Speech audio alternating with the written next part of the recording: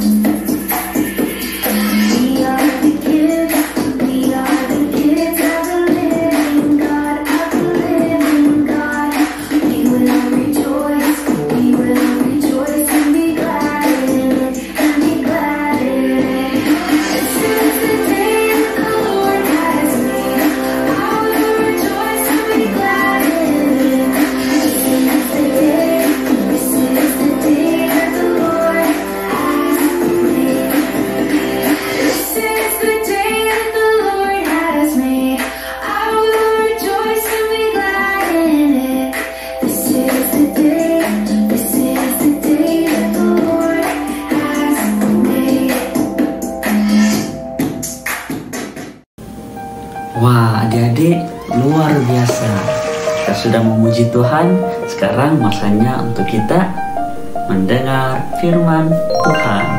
Minggu lalu adik-adik sudah mendengar mengenai kisah ciptaan Tuhan. Nah hari ini adik-adik Cego akan bercerita mengenai kisah Kain dan Habel. Kisah ini adik-adik boleh lihat dalam kitab kejadian pasal 4 ayat 1 hingga ayat yang ke-6. Jadi mari kita lihat cerita ini. Setelah Adam dan Hawa diusir oleh Tuhan dari Taman Eden, mereka mempunyai dua anak laki-laki. Yang pertama adalah Kain dan yang kedua adalah Habel. Kain yaitu abang Habel adalah seorang petani. Manakala Habel adalah gembala kambing domba. Satu hari tibalah waktunya bagi Kain dan Habel untuk memberikan persembahan kepada Tuhan. Kain mempersembahkan sebahagian daripada hasil tanahnya itu kepada Tuhan. Tetapi Tuhan tidak menerima persembahan dari Kain. Dan Habel juga mempersembahkan daging lemak anak sulung kambing dombanya yang terbaik. Api dari langit membakarnya. Tanda bahwa Tuhan menerima persembahan Habel. Kain menjadi iri hati. Hati Kain menjadi sangat marah dan wajahnya menjadi muram. Tuhan mengingatkan Kain agar dia harus selalu berbuat baik agar tidak berdosa. Firman Tuhan kepada Kain, Mengapa hatimu panas dan mukamu muram? Apakah mukamu tidak akan berseri jika engkau berbuat baik? Tetapi jika engkau tidak berbuat baik, dosa sudah mengintip di depan pintu. Ia sangat menggoda engkau, tetapi engkau harus berkuasa atasnya. Tetapi Kain mempunyai rencana yang jahat. Kain mengajak Habel pergi ke padang. Tiba-tiba Kain memukul Habel adiknya sampai terluka parah dan mati. Tuhan mengetahui perbuatan jahat Kain, tetapi Kain tidak mahu mengakuinya. Firman Tuhan kepada Kain, Di mana Habel adimu itu? Jawabnya Kain, Aku tidak tahu. Apakah aku penjaga adikku? Tuhan menghukum Kain. Tuhan tidak memberkati Kain dan Kain menjadi seorang pengembara. Walaupun Tuhan menghukum Kain, tetapi di mana pun Kain berada, Tuhan melindunginya. Adik-adik, adik-adik sudah mendengar kisah Kain dan Habel. Kisah ini sangat sedih kan? Adik-adik tahu ini adalah pembunuhan yang pertama di bumi. Kain memilih untuk membenci, membunuh adiknya sendiri karena iri hati. Ingat adik-adik, iri hati itu adalah dosa dan itu tidak menyenangkan hati Tuhan. Tuhan ingin kita semua saling mengasihi, terutama keluarga kita dan juga orang di sekeliling kita. Tuhan sangat mengasihi kita semua adik-adik tanpa mengira siapa pun kita.